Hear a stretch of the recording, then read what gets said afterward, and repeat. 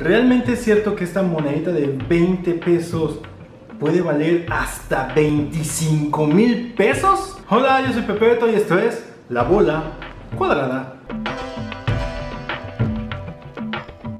Hola amigos y bienvenidos a una nueva edición de esto que es La Bola Cuadrada.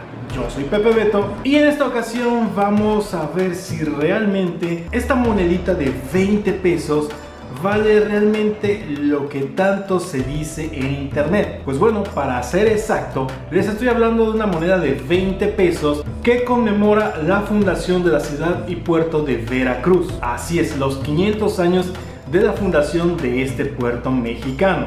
Como te dije anteriormente, esta moneda tiene un valor única y exclusivamente de 20 pesos mexicanos. Eso sí, en muchos sitios de internet, tanto sitios oficiales como sitios de noticias, pues son poco nada confiables, se dice que puede alcanzar un precio de hasta 25 o 35 mil pesos.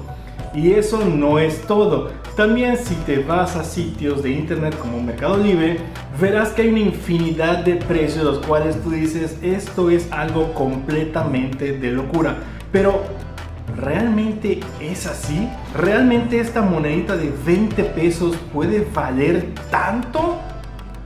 Bueno, pues déjame decirte que por ahora, por el momento, no. Así es, y esto porque bueno, hemos caído en estos sitios de noticia que no dan la información completa.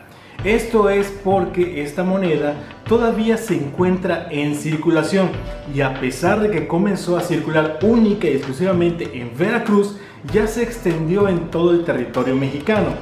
Pero para que llegue a valer ese costo que tiene, tiene que haber una serie de factores, las cuales en general o las principales son las siguientes. Lo primero es que deje de circular de manera oficial.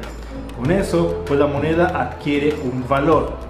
Lo segundo es que tenga algún defecto de acuñación.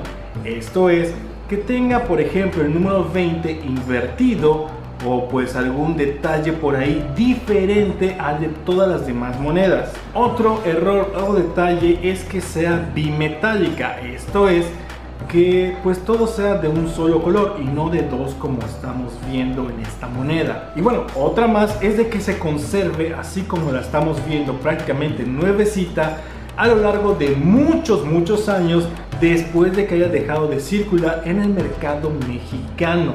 Pero eso sí, ese precio solo se lo dan los coleccionistas. Esto quiere decir que no a cualquier hijo del vecino le vas a ir a vender tu moneda de 20 pesos con un valor de 15 mil o 50 mil pesos. ¿Se imaginan? En ese caso yo tendría 35 y 35, 70, 140 mil pesos en estas cuatro moneditas que yo tengo. Y eso sin contar la colección que están viendo que también tengo de monedas mexicanas.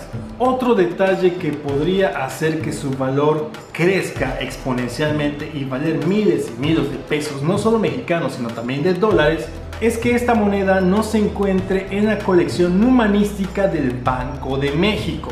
Pero bueno, esta es la colección de monedas y billetes más grande y única de todo el país, ya que es hecha por el Banco de México desde 1936 y pues su archivo, catálogo o colección tiene monedas y billetes de todos los años, de todas las épocas mexicanas, tanto los especímenes que están en circulación como monedas muy raras o muy extrañas o con errores en su acuñación.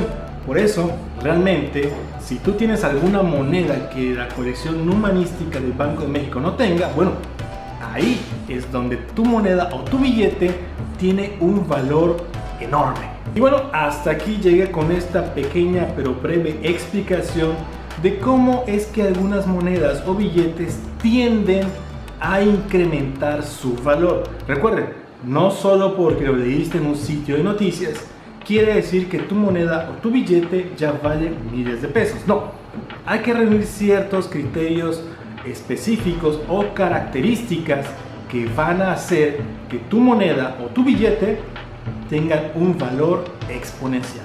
Y bueno, por el momento me despido, espero que te haya gustado este video y recuerda que si tienen más información que puede enriquecer lo que aquí vimos, escríbelo aquí abajito en los comentarios. Así todos vamos a estar más que enterados. Por el momento me despido, yo soy Pepe Beto y esto fue La Bola Cuadrada.